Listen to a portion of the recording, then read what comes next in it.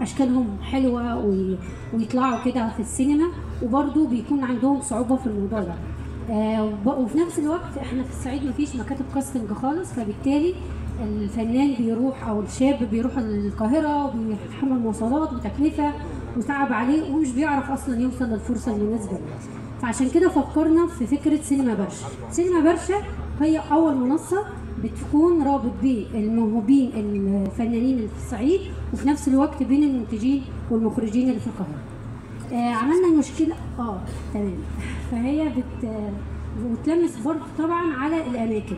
في كتير قوي آه، من المخرجين والمنتجين بيدوروا على أماكن حيوية طبيعية مش ديكورات. فبالتالي الصعيد مليان أماكن حلوة ومليان مواهب حلوة ومليان أشكال حاجات ينفع في الصعيد تتلمع. وغير كده الصعيد غير اللي في السينما خالص فمحتاجين ان الصعيد يبان بصورته الحقيقية الصورة الحلوة اللي تتحب يلاقوا مكانهم وما يحسوش إن هم مهمشين أصلا وإن هم آه، يستاهلوا إن هم يكونوا آه، فنانين في أي مكان. آه، شركائنا المحتملين الأنشطة بتاعتنا السابقة كان الريش وهو كان في كان ورفعت عيني للسماء وهيتشافوا النهارده إن شاء الله.